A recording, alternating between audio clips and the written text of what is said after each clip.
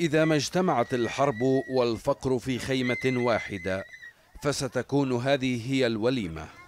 أخرجت أم فراس رغيف خبز جاف بللته بشيء من الماء وباشرت بإعداد طبق خاص تسد فيه رمق أطفالها الجيع.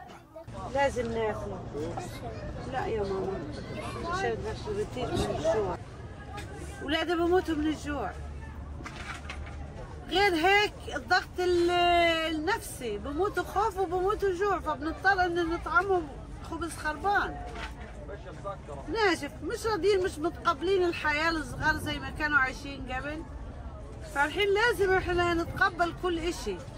لقد هربوا من الموت في شمال غزة إلى الجوع والبرد في جنوبها.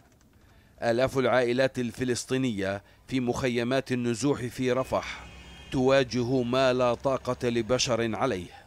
القصف والخوف والجوع والبرد والمرض والمستقبل المجهول. مستقبلا يدركه الكبار ويتجاهله الصغار وهم يلهون بلعبة قدمها لهم مانح. اليوم قدرت أدبر خبزتين نشفات وخربانات اليوم مش قادرة أدبر والصغار مش متقبلينه غصب عنهم. الجوع قتلهم. قد تنتهي الحرب يوما لكن لن ينسى هؤلاء الأطفال أن وجبتهم الرئيسية يوما ما كانت خبزا وماء. عبد الحفيظ جعوان الحدث.